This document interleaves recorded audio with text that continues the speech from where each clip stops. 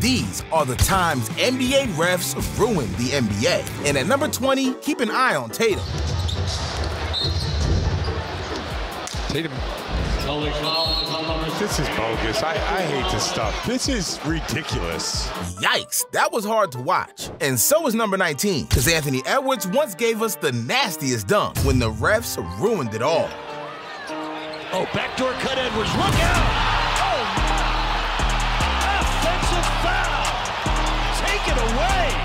Take it away. This dude's nuts were even above his head. But what Giannis did at number 18 should be illegal. Antetokounmpo, checked by Houston. He'll drive. His scores. He's out of bounds. He stepped out of bounds. We should be going to overtime. Now, for number 17, we got to talk about Damian Lillard, because he was close to throwing fits with the referees. With Portland down two, Lillard splits the D, drives, and looks like it should have been a goaltend. It should have been a goaltend. No call. That absolutely looked like it should have been a goaltend. But Dame wasn't going to stop there, because he had to tell the NBA how he really feels. We get to the last play of the game and they miss an easy call. And then they tell us it's an easy no call. Like that was obviously not a goaltend. Cost us the game, man. The crazy part was that even the Jazz players knew it was a goaltend. That's all I got. At least now we know why Dame hates the Zebras. And so does number 16, because all Jordan Poole did was pass to the referee when he did this. And what has been a very entertaining game, that should be an easy call and a foul on Poole. You just you can't do that. You can't throw the ball at the official. Now that's ridiculous, but not like the referee at number 15, because Scott Foster does whatever the hell he wants. Murray under the Gordon. Gordon. And a foul. And Scottie Barnes, the culprit, I believe. Oh, we got oh, we got a technical foul, and Scottie Barnes just got tossed. And he doesn't know why. They call the foul on Poeltl, his third, and they just kicked Barnes out of the game. And after the game, Barnes was still confused about the situation. Uh, I was just saying something to myself, and uh, I guess he took offense to it, so uh, it just threw me out of the game. Imagine getting ejected for talking to yourself. But number 14 wasn't just confusing, it was straight up crazy. Now it's Gilgeous-Alexander, and that's a three-point play opportunity for him. Luka, somebody. Hey, somebody put Doncic in a timeout for being mean to his teammate. Unbelievable. And so is this next one, because Blake Griffin and Reggie Evans high-fived each other and got a technical. And taken away by Bledsoe. Griffin back to Evans. And a foul. And then a technical foul called after the play ended. And I believe it's going to go against Evans. Um, I would love to see the refs explain that one. But number 12 was a whole different ballpark. Because in the game between the Cavs and the Hornets, the referees gave Dean Wade a technical foul for interfering with Rozier during a dead ball. Plumlee, what hands? Ed Davis touched a player on the court, and for some reason the Hornets get three points. I mean, making a dumb call is one thing, but reviewing it and not changing your mind? That's a freaking crime. But so is number 11, because the refs didn't just give a random tech. Instead, they cost LeBron a whole game. 4.1 seconds remaining. James comes up top, gets it. James on the drive, gets in the paint, layup, missed it. Lakers furious, they thought he was fouled. That is clearly a foul. Hold up, the ref was standing right in front of LeBron, and it didn't matter what the Lakers were saying. Not even Pat's camera was convincing enough. And in OT, the Celtics got the dub, but it's what Tatum said afterwards that was hilarious. I don't, I don't really know what happened. Um, I gotta watch the game, watch the film, because everything was just happening so fast. That's the biggest cap I've ever heard. But cap or not, we've reached the top 10 moments. So things are about to get really heated. And we gotta talk about the time that Kevin Durant was straight up glazed by the referees. See, when the Rockets went up against the Warriors and the score was all tied, KD got away with this. Size difference and let Durant go to work. It's Durant. Makes a move, lost the ball, tries to get it, saves it, saved inside, outside Curry. Two. It'll It'll be interesting to see on replay. Out. Absolutely he's out. out. Wow. I mean, how that? do you miss that? that? Dude was standing right there and still couldn't see bro tap dancing out of bounds. But it didn't matter though, because James Harden wanted to make sure the refs weren't going to get paid. Harden trying to get free. Down to three, down to two. It's a three. Good! Good!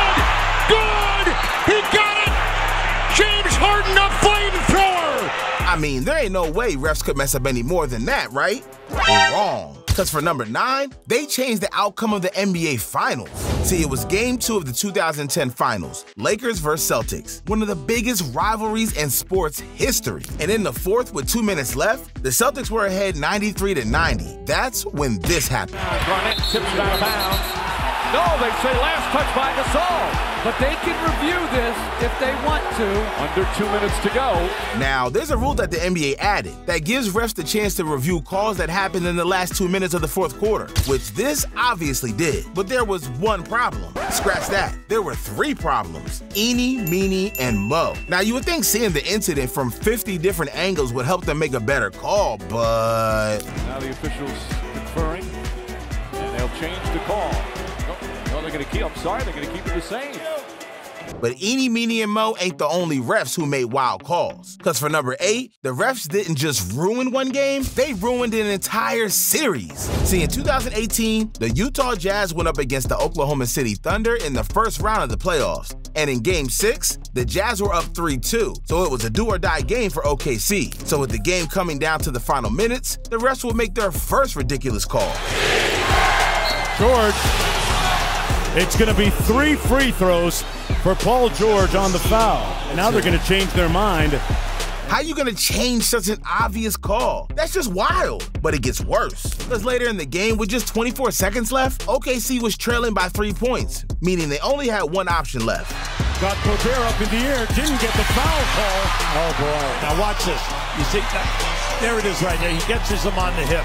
Yikes. I mean, looking at the Utah coach, even he knew it was a foul. But what if I told you that it's gonna get a lot worse? Because one ref messed up so many times, it eventually got him banned. Another referee was caught fixing games. Yeah, these refs are tripping. But first, we gotta talk about number seven. The time one referee cost the team the game and had a team owner forcing the NBA to replay the game. See, during the 2023 regular season, the Warriors and Mavs were going at it. And with under two minutes to play in the third quarter, two referees would have the whole Mavs team confused. Who is it pass?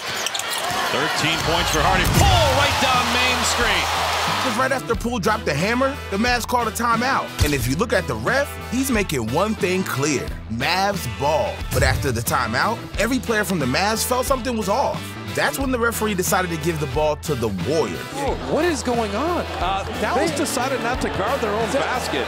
That's they, going they on Shaqtin' a Fool right there. They were all on the wrong side. There's no Maverick defenders. The refs really out here handing free points to the Warriors. Now, making mistakes is part of being human, but the crazy part in all this is that Dallas wound up losing the game by two points against one of the worst road teams in the league. But things didn't stop there, because after the game, you would think the refs would be the ones getting fined. But instead, the NBA slapped Doncic with a 35K fine for making this gesture. Yeah, things were getting wild, and Mark Cuban was not going to lower the temperature. Instead, he filed for the game to be completely replayed. Wow, that's ridiculous. And so was number six, because heading into game three of the Eastern Conference first round in 2002, the Hornets went up against the Magic. But heading down to the final seconds of the game, one player hit the greatest shot of his career, only for this to happen. At the buzzer! No, yes, no! It's waved off! Bernie Fryer says no, it will not count! He was waving immediately. Oh, it was so oh, my close. goodness. Bernie Fryer says no. Yeah, the refs waved it off and ruined everything. But the Hornets would beat the Magic in overtime and eventually the series. But at number five, we gotta talk about the player that is anything but clean. See, this is Rasheed Wallace, also known as the player with the most ejections in NBA history. But he wasn't always like that, because during his whole high school career, Rasheed only got one technical. But that was gonna change once he would make it to the league. Just in his first season with the Washington Bullets, Rasheed got a talking to by the commissioner to get his shit together. Yeah, Wallace was slowly becoming an enemy to the refs, and in 2000, it would be clear. See, during the Western Conference Finals against the Lakers, Rasheed picked up his first technical when talking smack to the ref. Now Wallace pantomimes what he thinks he might have done, disgusted, And now, while not in the game, he gets the technical for con continuing the conversation. Now, obviously, he said something uncalled for, but what happened next had everyone confused. Whack, get out.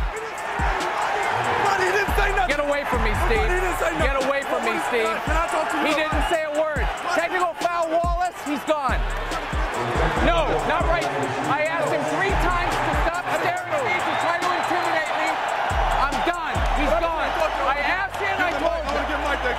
I have already told Mike twice before to have him stop staring to try to intimidate me. He did it again, he's gone. Not gonna lie, I think she's still mad about it. Just like the Rockets were at number four. See, in 2018, the Rockets would face the Warriors in the Western Conference, and after six games, there was nothing separating them. That's when the refs decided to take matters into their own hands and destroy Game 7. Just by the tone. Harden and swarming. They are in their grill. Here's Harden way off. Harden on the drive, rejected the game in this Western Conference Final. Harden scores. Count. But he's fouled by Thompson, who picked up number four. Well, Houston going to their smallest and quickest lineup. Oh, Harden turned back. He thought he was fouled.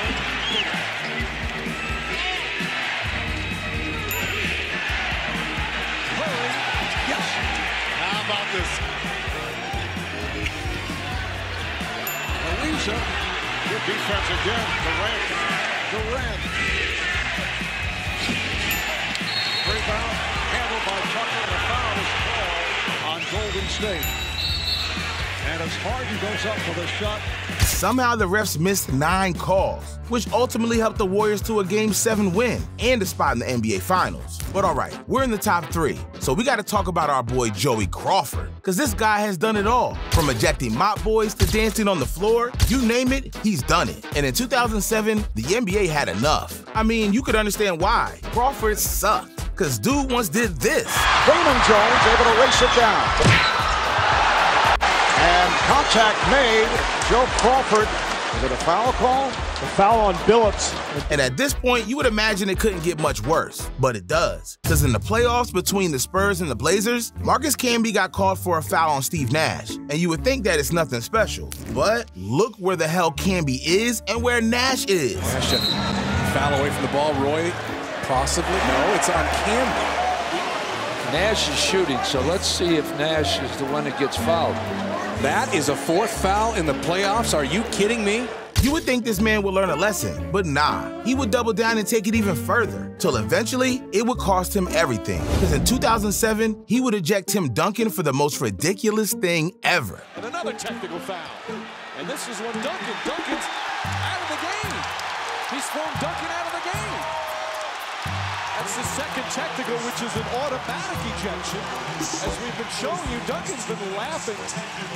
Maybe Crawford felt he was showing him up by constantly laughing. Worse yet, this 5'3 baldy waited for Duncan to challenge him to a fight. This dude was a psycho. So it left then Commissioner David Stern with no choice but to ban his ass. And if you ask me, they should have banned him a long time ago. But anyways, number two is even crazier, because we gotta talk about the most rigged game in NBA history. Game six of the 2002 Western Conference Finals, Lakers vs. Kings. And by the end of the third quarter, the score was tied 75-75, and the Kings had a real chance to knock the Lakers out the playoffs until the fourth quarter happened. See, over the first five games of the series, the Lakers were averaging 25 free throw attempts per game, and in the fourth quarter of game six, the Lakers attempted 27 free throws. Yeah, they attempted more free throws in one quarter than they've done over the whole series. What's even crazier is that the Kings only had nine attempts from the line, which means the Lakers got 18 more attempts, which if you think about it, is actually crazy. But listen, we still gotta talk about the referee that ruined the NBA so much, he was sentenced to prison. This is Tim Donaghy, one of the most infamous refs in NBA history, and rightfully so, because this man had an addiction, gambling. But in 2003, he took things a step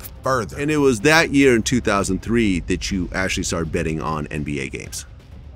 Uh, yes, right around that time, I think. And once he started, he couldn't stop. Because in 2007, he had bet on over 100 games, and most of which he refereed. So finally, it would all come to an end. See, the FBI had gotten an anonymous tip, so they launched an investigation to look for clues. And in August of 2007, the pressure was getting to Donaghy. Because not only was his career flipped on his head, but once the news broke, his wife said F this and packed her bags. Just a few days later, Donaghy pleaded guilty to two federal charges related to fixing games. And in 2008, he was sentenced to 15 months in prison. Yeah, this dude destroyed the reputation of referees and the NBA. But now, more than a decade later, this dude dropped his own Netflix documentary trying to profit off his story. Man has zero shame. And neither do NBA players. Because one player disrespected a whole organization, and another thought it would be a good idea to head out with the GOAT. Yeah, the NBA is full of disrespectful moments, and you can see all of them right here.